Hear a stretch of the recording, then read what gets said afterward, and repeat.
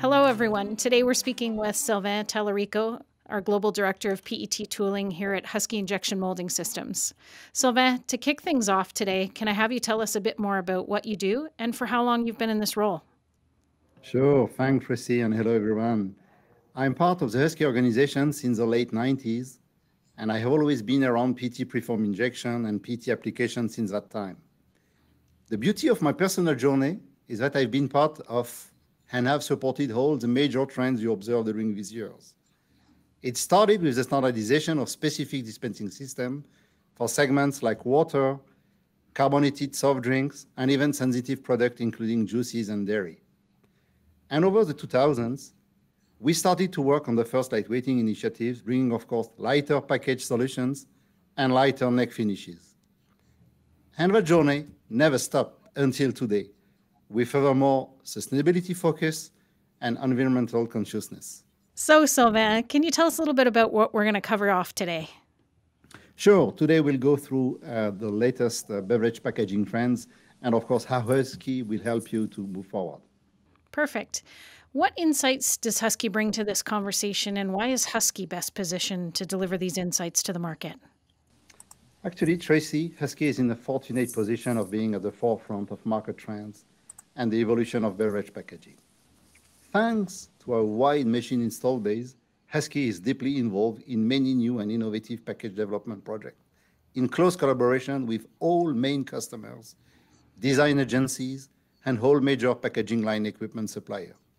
This is the reason why we have a clear understanding and analysis of the beverage market trends. Perfect. What are the major forces driving these trends, and why do you think these trends are appearing now? Beverage packaging has really evolved a lot in the recent years, Tracy, driven by a number of forces, including technology innovations, including changing consumer preferences, including increased competition, and last but not least, new legislative requirements.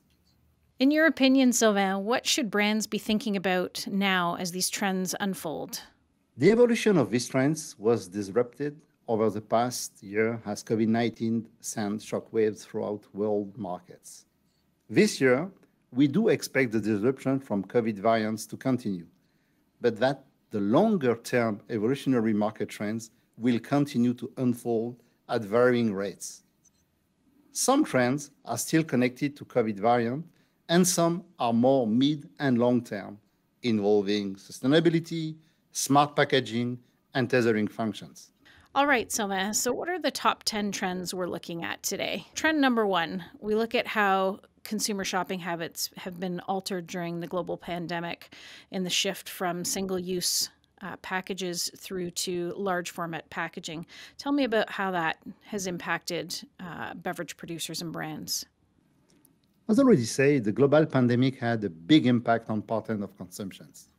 Since consumers are doing fewer trips to the grocery stores, we saw an increased demand for larger beverage packages and multi-packs for smaller sizes. It may be sometimes before this consumption trend stabilizes into the next normal, so producer needs to remain agile and adaptable. What is clear is that PET has many great advantages compared to other packaging materials, with its freedom of design, flexibility, and its convenience for larger size containers. So, trend number two I mean, I find myself shopping more online and having products delivered to my home. How has the use of e commerce uh, pushed brands or challenged brands to be more uh, consumer focused and consumer friendly in getting products to homes? We have all noticed that more and more products are delivered than ever before. With e commerce in mind, PET packaging becomes a very compelling option for producers since it is less prone to breaking or damage during delivery. PET does also help packages to be lighter in weight, but really helps to reduce CO2 footprints. Sylvain, for trend number three, we're asking ourselves the question Do I feel safe drinking this? When you think about consumers and their focus on hygiene and safety during this unprecedented time we're living through with the global pandemic, how are beverage packaging trends being driven by uh, hygiene and hygiene related preferences with consumers today? The global pandemic brought hygiene and food safety to the forefront, and consumers are now more hygiene conscious than ever. Many more consumers are opting for safe packaging options, such as PET bottles, which are resealable and have drinking surfaces free from exposure to airborne contaminants, unlike metal cans. Regardless of what lies ahead with COVID 19, it is likely that these hygiene related preferences are here to stay for the long term. Producer will need to take this into account as they choose packaging solution for their applications.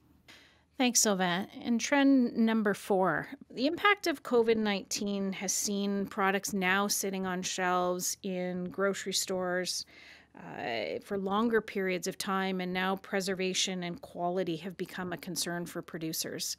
How does beverage packaging and how do beverage packaging producers take this into consideration when looking at their packaging options? Indeed, as this is an another impact of COVID 19 and it makes it more of a challenge to keep products preserved up to the point of consumption. As a result, we are seeing more producers focusing on ways to prolong shelf life using technologies like coating and multi-layer packaging solutions. The multi-layer packaging solutions offered by Husky suit well applications like dairy products, sensitive beverages, and small format carbonated soft drinks. Each of these applications needs specific protection from oxygen ingress, CO2 loss, and light exposure to guarantee product shelf life. And of course, these technologies head in preservation and protection for these applications. Sylvain, being halfway through the list now, trend number five, we're seeing a rising demand for nutritious, health focused beverage. Tell me about this trend and what this means in terms of SKU proliferation and having a more fragmented product landscape. What does this mean to beverage producers? Pandemics spurred more attention of personal health, as immune system, for example. Brands are offering a wider variety of products to meet demand. In functional drinks, there are many, many different products categories with, for example, antioxidant, nutraceutical, bioactive compound, probiotic, prebiotics, and that list, of course, is not exhaustive. All market segments are concerned, and this is part of an overall trend toward consumer looking for more diverse beverage options, leading to what we call SKU proliferation, which is resulting, resulting in a larger and more fragmented product landscape. Again, this means that in order to remain competitive, brand needs to be agile and adaptable to produce larger portfolios of applications. So, trend number six, we're seeing a push towards sustainable packaging. How are consumers driving this trend in their desire to associate themselves with brands who offer packaging that is made out of recycled materials? Because simply the trends toward more sustainable packaging is here to stay for the long term. Legislation is a huge driver for this, and the single-use plastic regulation here in Europe is a great example.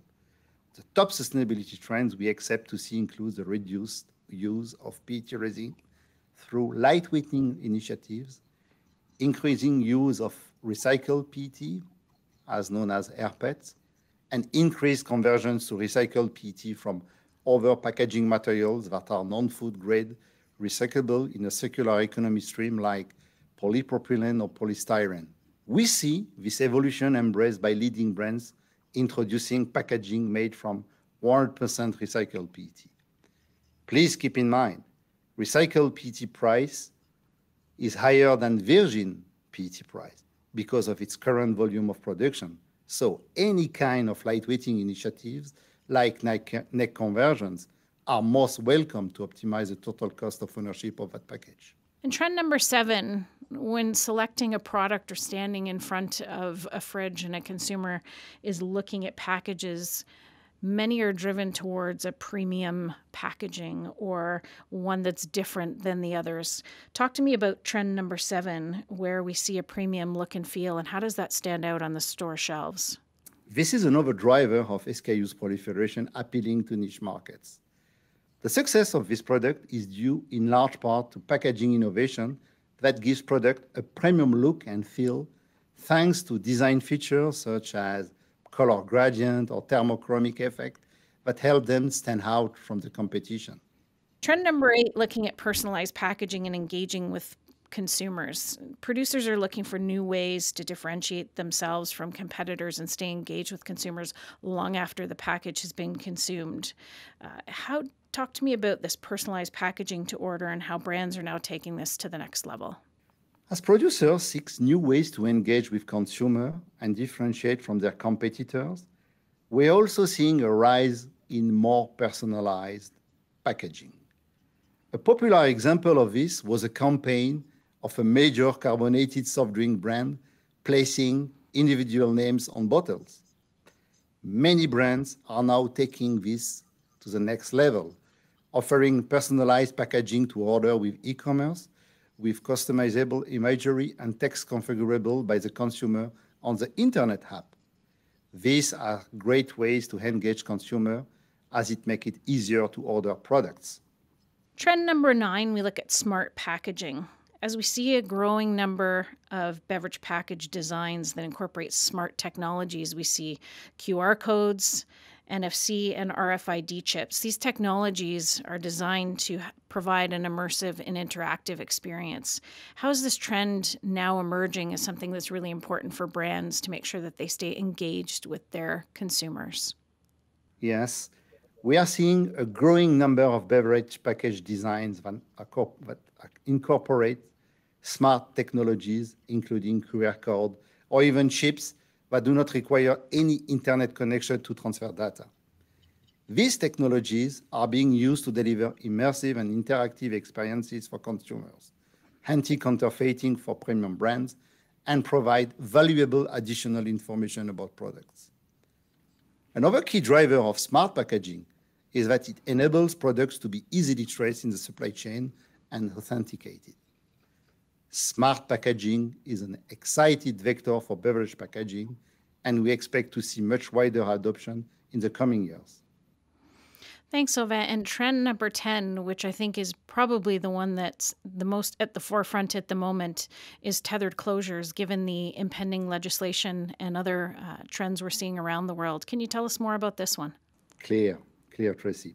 As part of a broader sustainability initiative, the European Union, with the single-use plastic regulation, will require tethered closure for most single-use plastic container by 2024.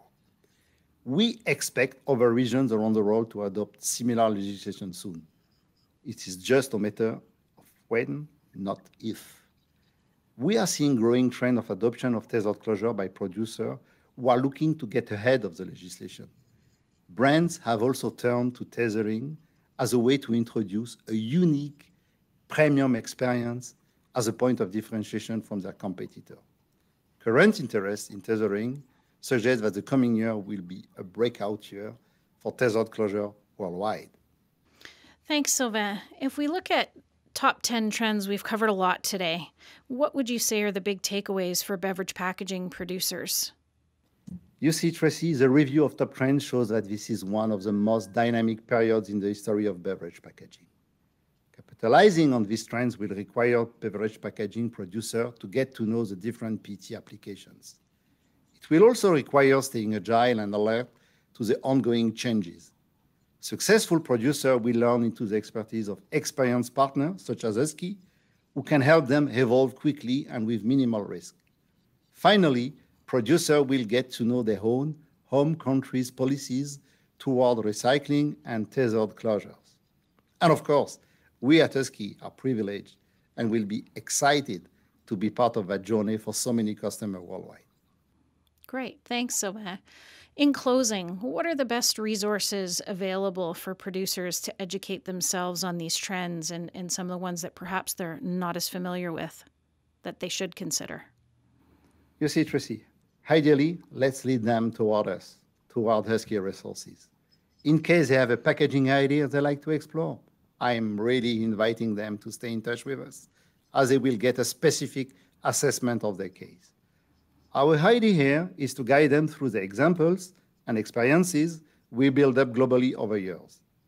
We, of course, also including in this podcast all the accesses to the latest webinars, guide, and calculators we recently published.